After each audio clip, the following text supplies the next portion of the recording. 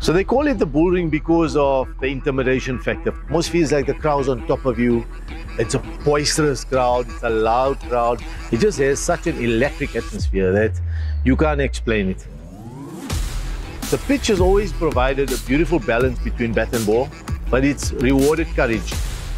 For me, the Wanderers is one of those stadiums where you always will see these record-breaking performances because of the pitch, the outfield, the atmosphere, the energy, everything around it.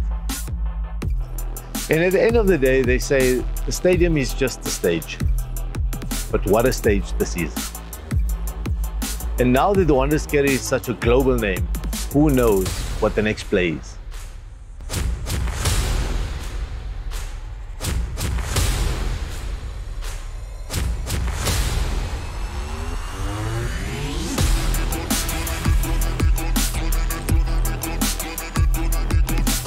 The DP World Wanderers Stadium, where we change what's possible.